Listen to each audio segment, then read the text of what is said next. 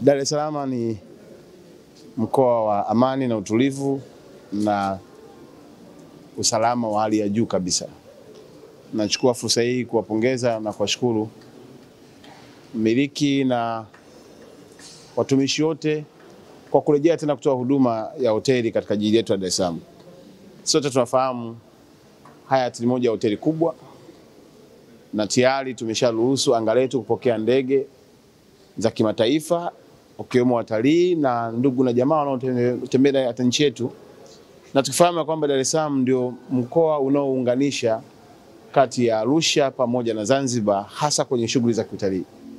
Kwa hiyo nimekuja leo hapa kuungana na watumishi na management na uongozi mzima wa Hayati kuwarejeshea tena huduma za hoteli, hoteli ambayo imejiandaa kikamilifu na kujilinda na kujikinga na maambukizi ya COVID-19. Sote tumeona hatua zilizochukuliwa, kama ni barakoa zipo za kutosha, si tu kwa ajili ya wafanyakazi, bali hata ya wageni wataweza kuingia mahala hapa pamoja na vyumbani.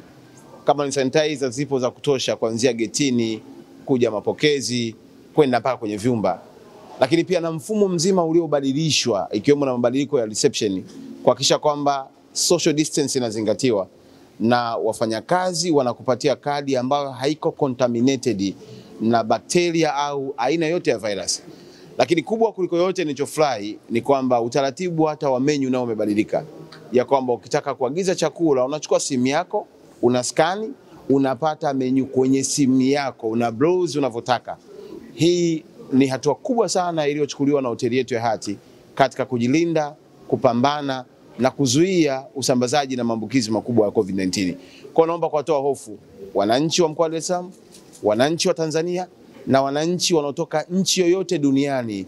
Hayati ni hoteli salama kwa maisha yako, si tu kwa ajili ya kipindi hiki cha corona, hadi pale ambapo utakapojisikia wewe na familia yako kuja, njoo upumzike, ufanye mapumziko yako vizuri, na wale watalii usiwe na hofu yoyote ile ya kwamba hatujui Tanzania tutafikia hoteli gani. Ipo hoteli inaitwa Hyatt ambayo itakupa huduma zote. maya hostess wa ndege zote mnakaribishwa, na kwa kweli na kila sababu ya kuendelea kuwapongeza, nami matumaini yangu kwa sababu uchumi umeshachangamka na nchi yetu na mkoa wetu uko kwenye kazi ya kujenga uchumi, basi tusiwe na hofu yoyote ile.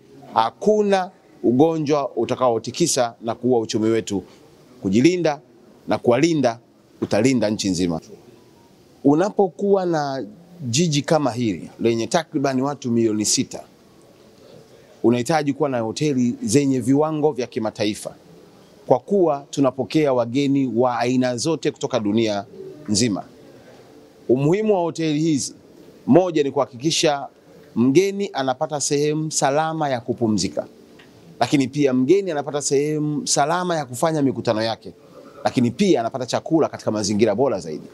Kwa hiyo ndio maana imeambatana na Mambo Sasa ambaye ni mkuu wa ulinzi kwa upande wa polisi kuhakikishia kwamba hata kwenye mambo ya ujambazi hoteli hii iko sehemu salama zaidi, kwa sababu ulinzi wa kutosha upo. Kwa lugha nyepesi, bila kuwa na hoteli kubwa kama hizi huwezi kusema una uchumi katika jiji la hoteli. Hoteli kama Hyatt ni moja ya kitambulisho ya kwamba Dar es Salaam ni jiji la kiuchumi na kibiashara. Lakini tulimalizia kusema kwamba ziko hofu zinazotambazwa ya kwamba hali ya mkoa wa Dar es Salaam si shwari. Naomba kuhakikishia kwamba mkoa wetu uko salama zaidi, na si muda mrefu nitamuomba moja ya viongozi wa kimataifa tuambatane naye kwenda kwenye hizo hospitali anazosema wagonjwa wamezidio, ili atupe picha ya kujua wagonjwa wanaotaja yeye wako wapi. Ukipita hapa katika jiji la Dar es Salaam, mtu yeyote yule anataka nchi yoyote aje aone, sababu sisi tumefungua anga maana yake tumeruhusu watu waje waone kama hilo tatizo lipo, lakini sio kama itoshi, una uhuru wa kutembea mtaani kuona hali ikoje. Na niwaambie Watanzania ya kwamba kacha za nchi yetu ni tofauti na kacha ya mataifa mengine. Mataifa mengine akiugua mtu mmoja au akafa mtu mmoja, ni ngumu sana nyumba ya pili ya tatu kujua, lakini sisi hapa anaweza akafa mtu hapa, watu walioko Kigoma wakaelewa, watu walioko Zanzibar wakaelewa, kwa sababu tunaingiliana kiutamaduni na kwetu msiba ni ibada. Msiba kwetu usipoenda kuhani, kila mmoja anashangaa. Kwa kama ingelikuwa ni watu wengi wanakufa, maanake watu wote hawa wasingekuwa pata mtaani. Kama mjomba wako hajafa, shangazi hajafa, shuleni kwenu bado wako salama, kanisani kwenu, msikitini kwenu wako salama, Why are you worried? Kwa tuna amani na tunamshukuru Mungu ya kwamba idadi ya maambukizi kwenye jiji letu inazidi kutokomea kwa kiwango cha asilimia kubwa zaidi, lakini mwisho yoyote yote, yoyote mwenye hofu aje. Na mimi nafanya mazoezi kote, tunakutana na watu wa kutoka nchi mbalimbali, wanafanya mazoezi, wana amani. Kwa hiyo tusio na hofu yoyote ile, na ningetumia fursa hii kuwaomba na niwaambia uh, uh, bosi wa Hayati apunguze kiwango cha gharama ya hoteli ili tuwaruhusu wananchi wa mkoa wa Dar es Salaam waje pia wajimwambafai kwenye kipindi cha weekend na familia yao, yaani wasione Hayati kama ni hoteli ya watalii tu, hata wao wanao fursa ya kuja, na nafikiri mtanitajia bei ambayo mnaipunguza hapa, ili Watanzania waje wafurahie huduma ya Hayati wakati tukichangamsha mji na nchi yetu katika kuelekea kwenye uchumi ambao Rais Magufuli ametuelekeza tuujenge. Hofu ndio ilikuwa imetawala, fear has taken part everywhere, na tukaogopa mitaa yetu, tukaogopa misikiti na makanisa yetu, tukaogopa biashara zetu, and people have been hiding kwenye majumba yao.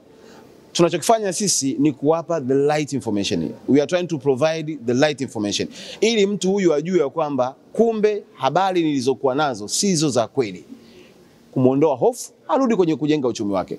Kwa kazi yetu kubwa kama serikali ni ku encourage, na ndio maana nimekuja mwenyewe hapa. Ningesema bwana, aende mtu fulani, akasema no, huu ni mkoa wa kwangu, hawa wananchi wanafanya shughuli za kiuchumi kwenye mkoa wangu, lazima niende kuwatia moyo, kwa sababu hali halisi naifahamu. Wewe mwenyewe unafahamu, mimi mwenyewe nimezunguka kwenye kampeni zote za kuelimisha wananchi juu ya habari ya corona. Ugonjwa huo ungelikuwa ni hatari zaidi, mimi nilipaswa kuwa mmoja wao wa wagonjwa wa corona, lakini tumeenda kwenye daladala, tumeenda kwenye masoko, tumeenda kila pahala kuhakikisha tunawaelimisha wananchi, na mpaka leo hii tunaendelea na afya njema, kwa sababu Mungu ametulinda. Aliyetulinda Mungu, mimi kamlinda Rais Magufuli, waziri Umi, nani ndio huyo huyo Mungu anayewalinda Watanzania wote na wageni wanaoingia katika nchi yetu ya Tanzania. Kwa hiyo hakuna sababu yote ya hofu, Wafanyabiashara wafanye, na nafikiri unakumbuka niliwaambia hata kwenye baa baa zifunguliwe, wenye mabendi wanaopiga mabendi twanga pepeta si wapi wapige, mwenye klabu yake, ili mradi amezingatia social distance, amezingatia uvaaji wa kujikinga, ana sanitizer, afanye kazi yake ya uchumi. Ukikaa ndani ukasubiri mpaka utangaziwe na wale wale ya kwamba korona imekwisha, wakati bado wao wanayo, itakuwa ni ngumu. Tusichukue hali walionayo wenzetu tukailazimisha kuwa sehemu ya maisha yetu. Kila mmoja, kila taifa, kila kabila, Mungu amelipa upendeleo wake.